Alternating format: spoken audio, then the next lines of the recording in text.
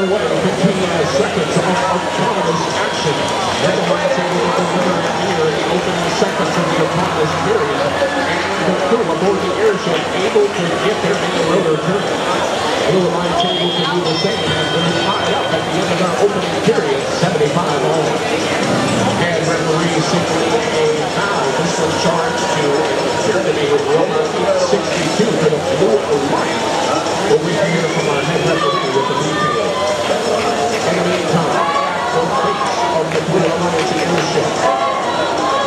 First team 62 losing their final aboard the airship. Airship puts it into the air time. Blue Alliance pilots already have two of their own crew on their airship. Red Alliance has done the same. Trying to activate a third rotor. 145 to 115. Red Alliance has front. Blue Alliance working very hard to narrow the gap. From the Red Alliance, 41, 42. Spilling fuel out onto the field, gathering up some of it.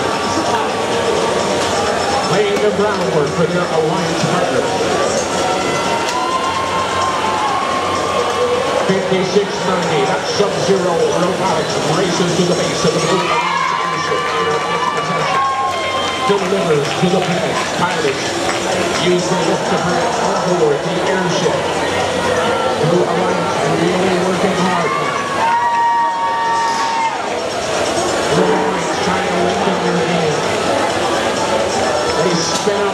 fourth rotor.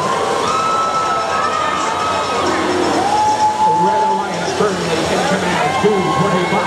But there's still a lot of time left. 30 seconds. Blue Alliance pilots scramble across the deck. They spin up another rotor, then deploy low. Robots beginning to climb now. The four on the move. For the Red Alliance, 41, 22, the four and the Obot sitting here are ready for flight. So did the Cyber Cab. All three Blue Alliance robots indicating they're ready for fight as well. Final seconds of the match, incredibly close. This one is over.